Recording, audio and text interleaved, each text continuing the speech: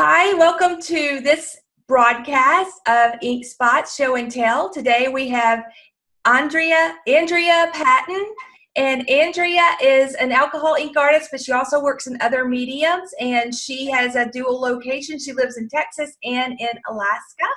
Um, she has art in several ga- galleries in both states and has has won several awards. I'm going to let her tell you about that. Um, so I'd like to introduce Andrea to you. Andrea, um, why don't you tell us a little bit about yourself and how you got started with alcohol inks? Sure. Hi. Uh, so I'm Andrea Patton. I um, have been actually drawing since I was uh, six years old and painting in acrylics for probably 50 years, which tells my age. But I went to live in Alaska in 2014 and I met a lady named Francine Dufour Jones. She's very active on our AI community.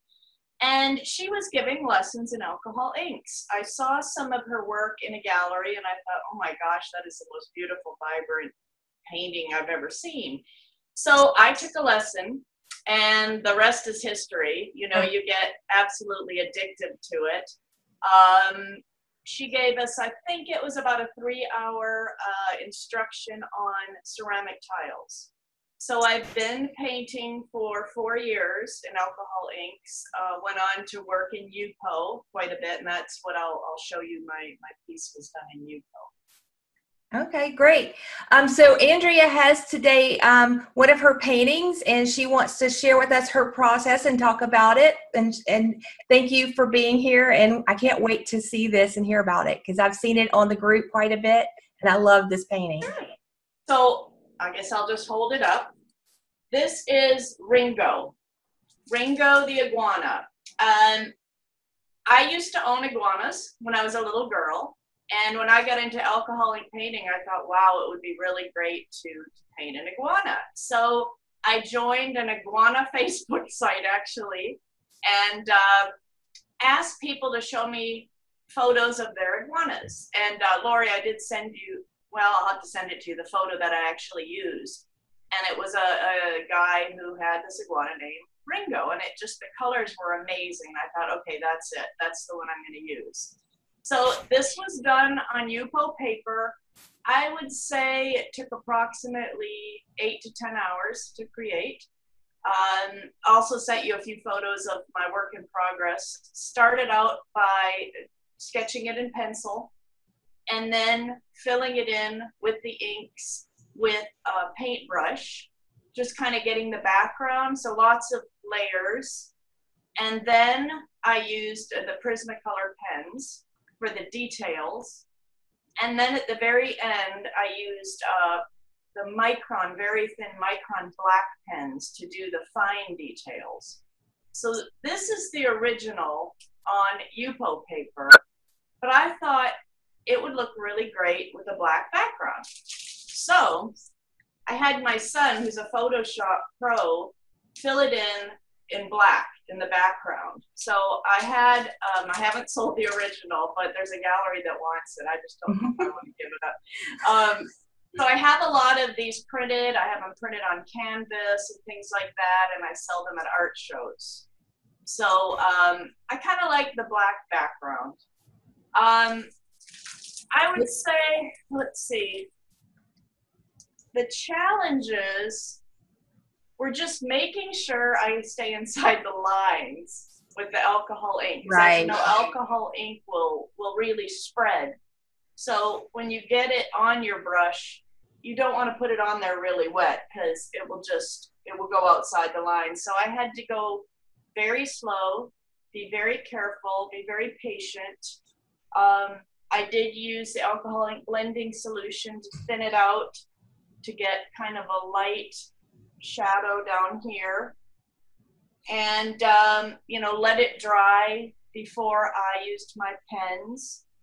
I really like painting in detail as you can tell. So I, I like doing little tiny dots and all that. And you know, if you want to make it look realistic, I'm, I'm a realism painter.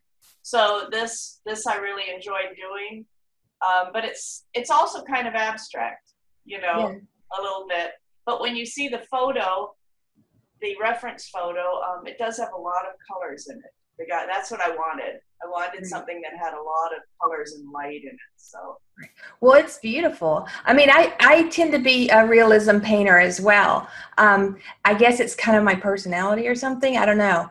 and I try really hard to loosen up. So for me, loosening up is a challenge. You know what I mean? Just not trying to put so much detail into it. I don't know if you find the same thing, but I mean, like I see Sharon Harris's work and stuff, and she's just so she just makes it. Oh, just put some ink here and there, and, then and it's Yeah. so flowy, and it looks. You can still tell what it is, and I, so that's my personal struggle. Um, I don't know if you deal with that, but this is absolutely Yeah. beautiful. Oh, thank you. Thank you. I'm, I'm proud of Ringo. I also did a chameleon. I like lizards a lot. I think lizards are beautiful. So doing all the scales and things like that. I'd like to do a tarantula. I'd like to do a snake. I just think animals are beautiful. I also paint a lot of birds. Oh, I Um, love doing birds. Really enjoy doing birds. And of course, from Alaska, I do uh, tons of mountain scenes and landscapes and things like that. Right, right, right. That what a what a n- nice um change from Texas to Alaska. I mean, it's so Oh, yeah. different, but it's that both are so beautiful. Absolutely. Yeah, I mean, Alaska inspired me beyond my wildest dreams. If you've never been there, you gotta go because one of my hobbies is traveling, and I would say um, we just got back from Ireland, but Alaska is still more beautiful. It's so big, it's so vast, and if you're an artist, oh my gosh, you will go insane. Field day, right? Better take your camera, right? Oh yeah, I invested in a very expensive camera. I kind of that's one of my hobbies is photography too. So to get the photos uh, for my paintings. Oh, so hey, can I ask you a question? Do you photograph your artwork? Yes. You do. So you don't Yes, do. it; you photograph it to reproduce. Um. Or okay, I take I take that back. Uh, my big painting. So I'm working on on this one right now. This is an acrylic painting, not done.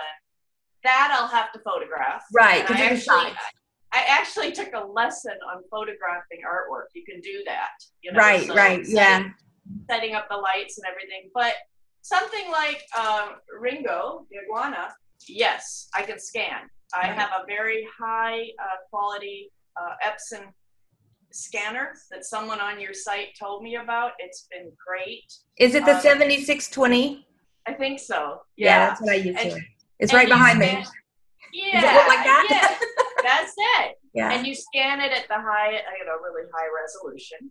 And Okay. I do that with the tiles. I do that Okay. with the Yupo. But on my big acrylic paintings, um, I have to photograph. Right, them. right.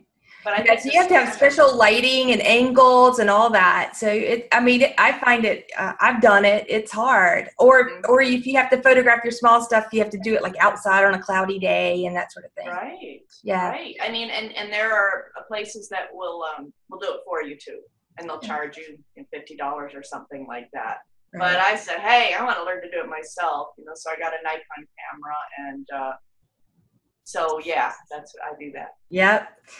Well, that's awesome. Well, thanks for being here. Where can we, where can everyone go and see your stuff and learn about your classes and that sort of thing? Sure. Um, so on my uh, Facebook page, it's a Patton fine art, which is all one word, a Patton fine art. So on that, I do advertise.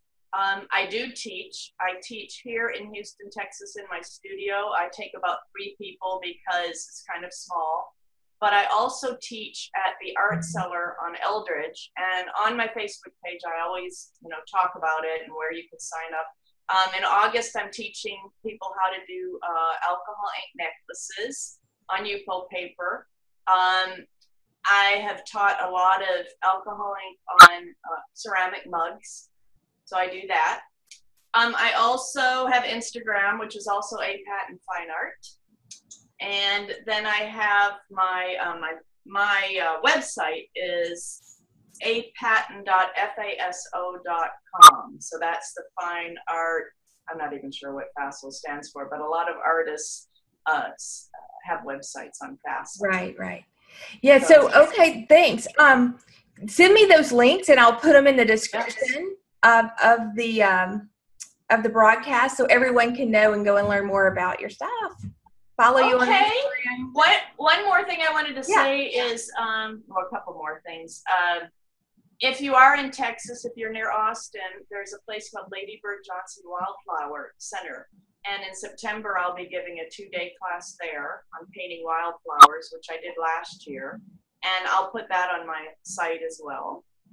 Um, and that's a really fun class. Oh, and yesterday I did my, oh, I guess it was my second video uh, class. So it was a lady in Indiana, and we did an hour and a half, and it was just through Facebook Messenger, and it worked out really well. That's and cool. that you can sign up on Etsy. So all of those links are on my my Facebook page.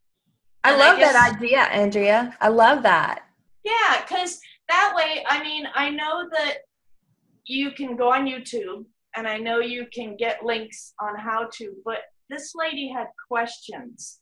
So we could talk about it, and I could, Right. you know, ask. You were a consultant. You were you were being more than just a lesson or a class. That's consulting, and I think that's awesome because I think that especially getting started, that that's what a lot of people need. So I mean, and a lot of and a lot of our contributors do kind of offer that either through you know a Facebook group or a lot of them will talk to you one on one in in Yeah. messages and stuff. But I think that that's I think that's great. I think love what you're doing, spreading the love for the alcohol inks, and um, It's addictive. Yeah.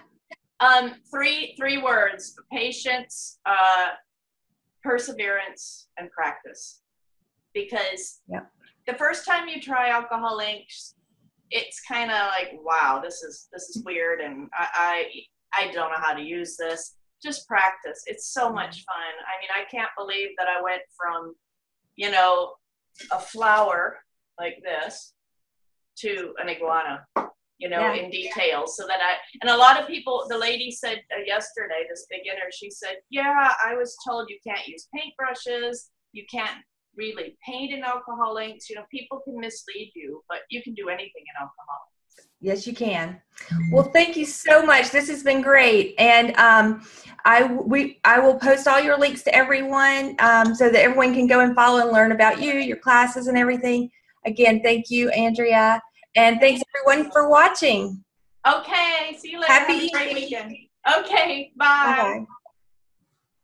Bye. Come learn, create, and share with us. It's a life-changing opportunity. Excite the artist